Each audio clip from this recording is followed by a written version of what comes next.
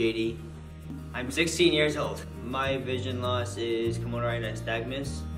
It's where my eyes shake back and forth frequently and it blurs my vision. I see three of everything. Before I did anything with my the blind community, I felt like I could do nothing. Like I had no social skills at all.